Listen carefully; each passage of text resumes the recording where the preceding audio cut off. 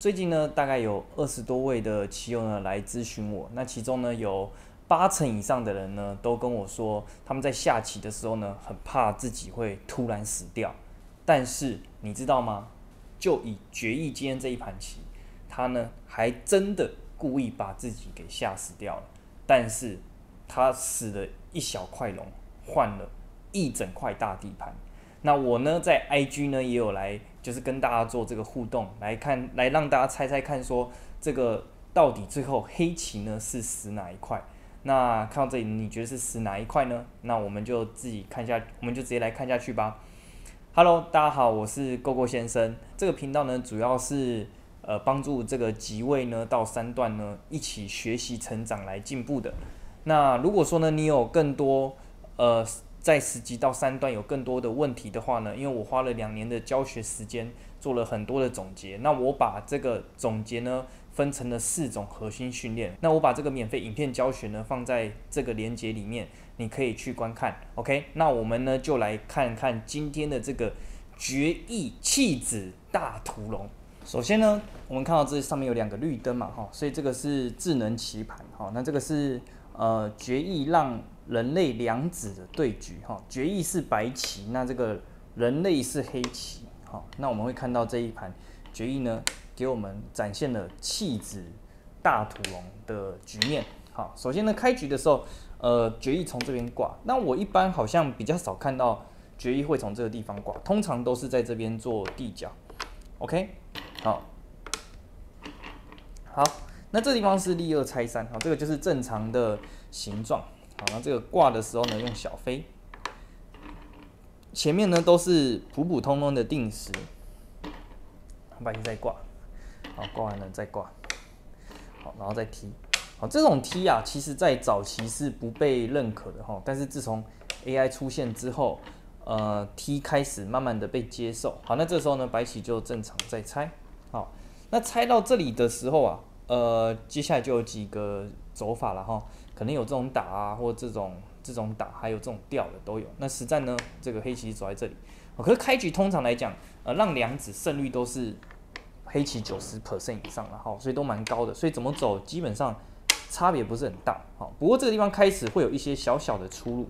好，当黑棋尖的时候，白棋先搬，好，搬一个是有点像是卡这边，不让它很顺利的度过，然后再拐。OK，那这个长其实。呃，我本身是没有想到哈，那我的第一感直觉是走在这边，好，那我后来看了一下，呃，AI 的选择是说可以先虎在这里，好，然后虎完之后呢，哎，再搬，OK，好，再搬，如果他这样子，我们就直接断，OK，好，那这样子搬完之后，将来你这个打吃啊，哎，效果也会比较好一点点，好，那实战这个长，我是觉得，呃，有一点点不太好了哈，但是。以结果来看，还不影响胜负。好，那接着呢，黑棋冲。那这个地方，我们人类的惯性思维都是想要挡住的。好，那或许是因为黑棋也觉得白棋会挡住，这样黑棋就可以施展这一招打吃、打吃、哦打吃，再打吃，对不对？好，三个打吃啊，打吃、打吃、打吃。好，那这样子这个白棋是跑不掉的。OK，好，但是呢。决议啊，他不是这样子想的，所以呢，决议这时候呢，反而转到实地了。好，原本看起来以为是白棋要攻黑，但是在这个地方，白棋竟然采取守势，但是这种守势又非常特别，他把黑棋底下的根据地给夺掉，让黑棋呢孤单的往外跑啊。所以这种棋是属于很反人类直觉的，哈，这个有一种守中待攻的感觉。那接下来这一手是我认为。呃，黑棋让白棋打开局面的一步棋，哈，这个时候我的第一感直觉是要往这里藏，好，那我看了一下那个呃后来 AI 的这个复盘，哈，呃 AI 是更手顺更细腻，好，比我的更细腻，他在这里先打一下，好，给白棋这个提掉，然后呢再当这样打吃，那如果白棋这时候挡这边的话，黑棋就冲出来，好，那这样交换黑棋是不亏的，哈。而且这样局面更简明，好，优势情况下更简明是更好的。那如果白棋打这个呢？诶，这个就小了。黑棋只要打到这一下，这个角上呢是非常非常坚固的哈，白棋更难破。那这个时候黑棋在场，好，也就是说我跟 AI 的区别是我没有交换这个，我直接我直接单场。那单场呢会比这个实战的班呢还要来得简明。我们来看一下实战。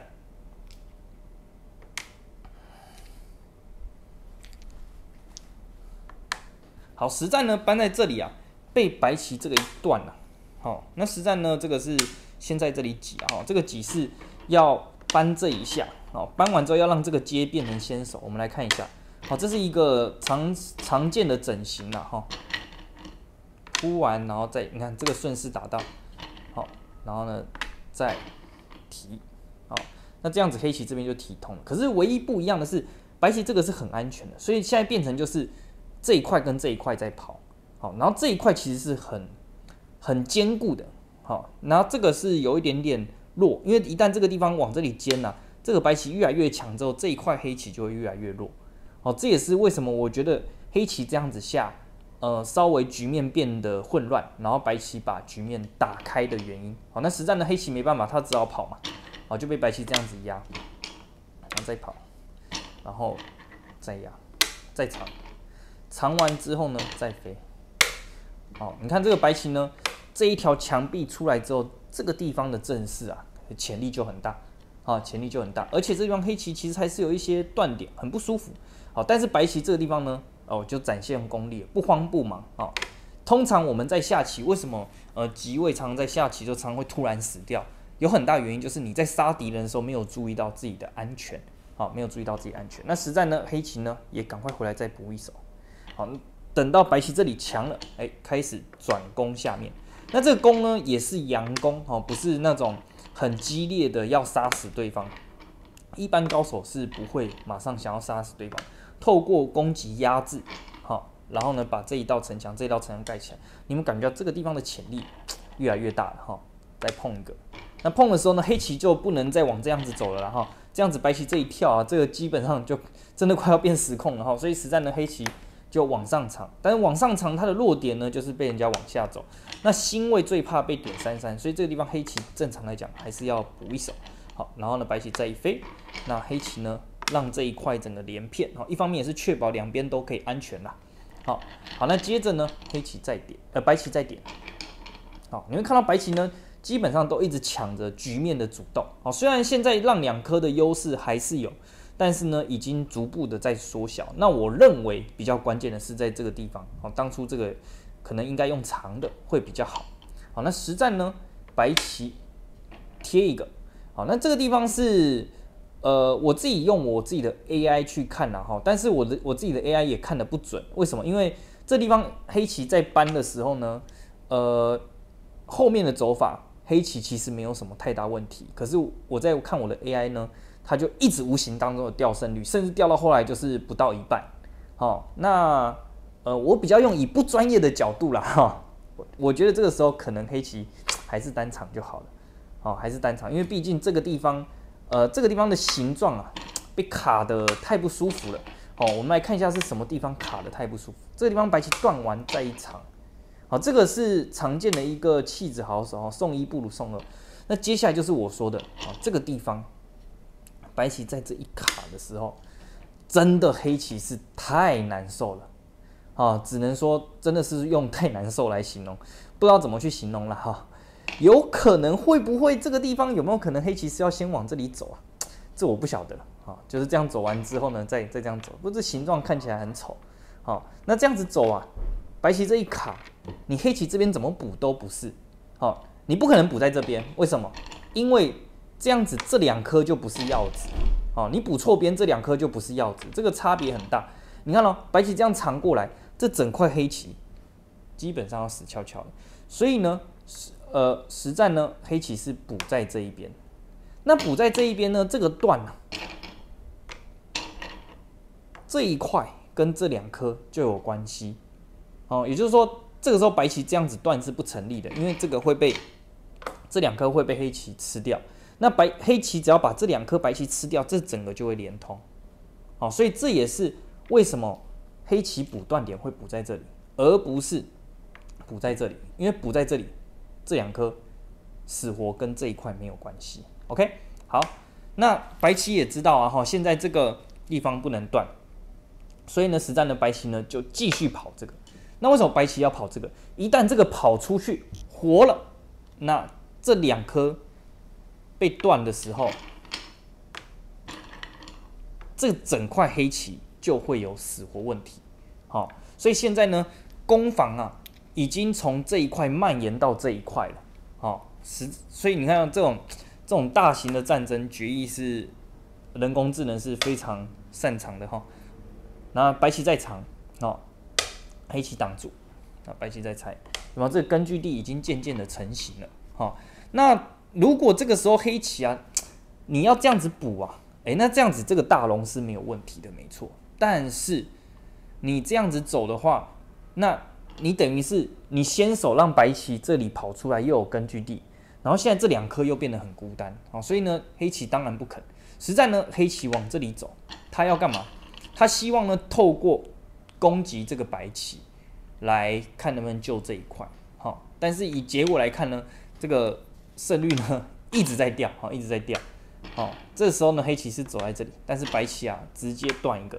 好，这个胜率呢，瞬间就好。我用我的 AI 看是瞬间就不行的了啦。哈，当然我的 AI 其实是没有到非常的高的哈。好，那这样子走，再夹，然后这时候白棋这样子胜率已经过半了。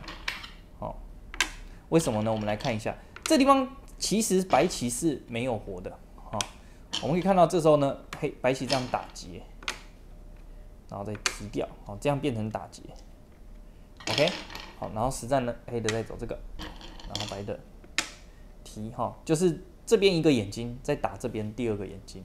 好，那黑棋搬这个，这四颗很大，为什么？因为这四颗只要吃掉，就这个就跑掉了，所以白棋是不可能这样子走，然后被黑棋搬上来的。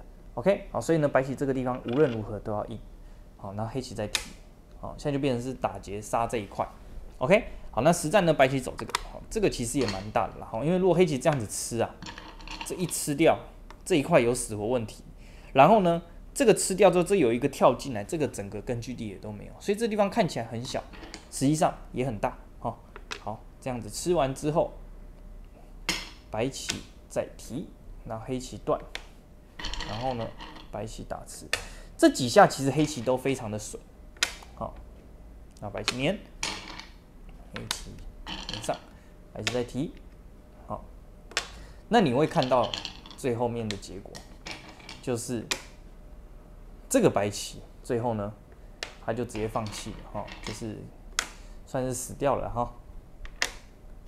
然后黑棋，黑棋打吃，然后白棋提，然后走这个，然后白棋再提，走这个是因为怕被挖了哈。然后呢，黑棋打吃，白棋提。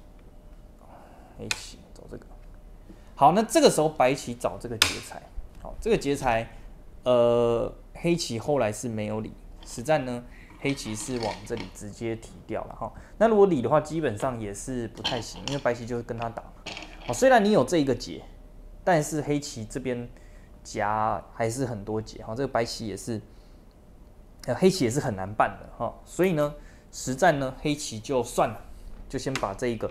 白棋给吃掉，但是白棋这一冲下来，黑棋这样也很难办。哦，你说，哎，这样子不是只吃这一颗吗？没有，我们要看的是潜力。好，虽然你看这个白白棋好像就是只有伤害到这一颗，但是你要看这这整个地方，好吗？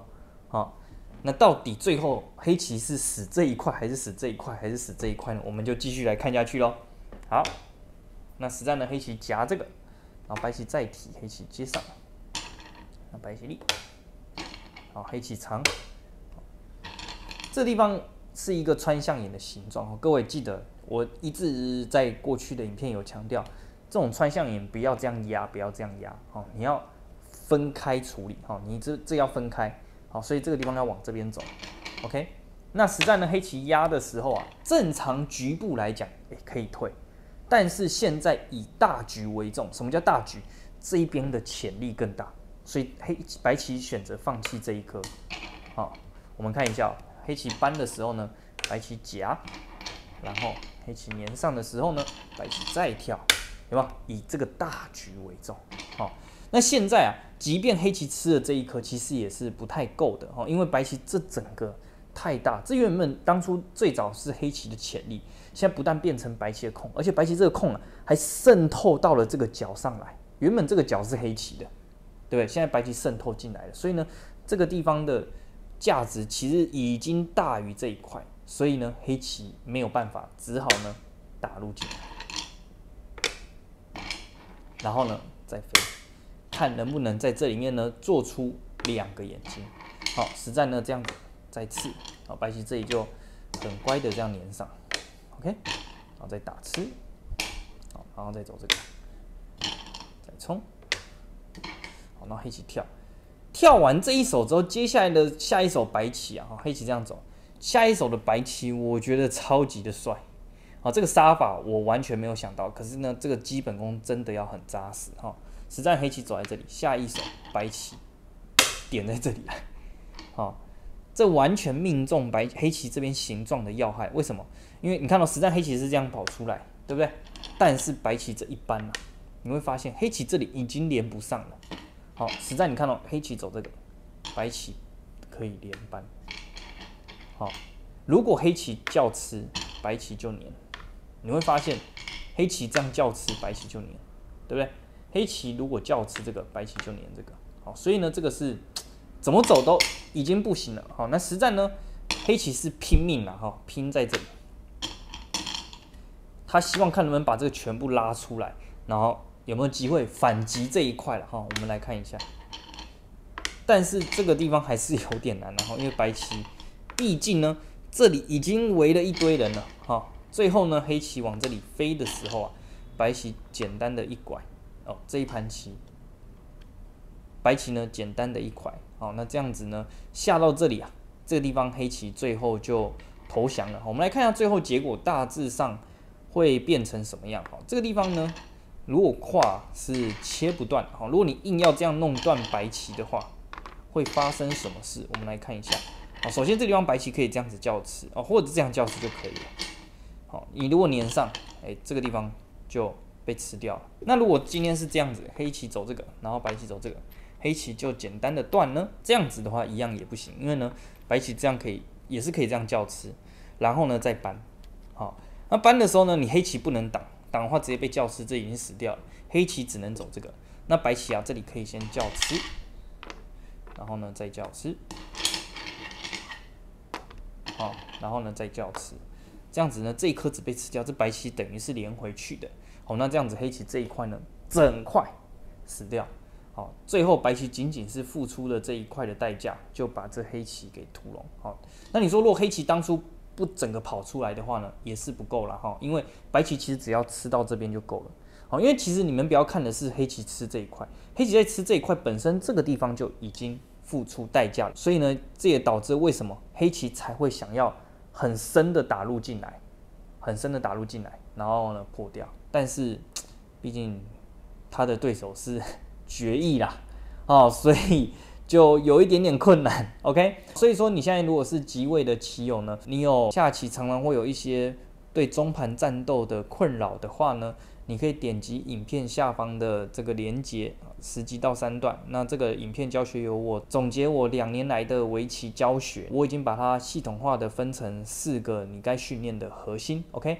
那如果说呢，你想要有更多更近距离的。跟我做围棋的互动的话呢，你也可以追踪我的 IG，OK？那这个是智能棋盘，如果说呢你有兴趣想要了解的话呢，你可以到这个链接里面去看详细的资讯，OK？好，那我是 GoGo 先生，我们就在下一集影片见喽。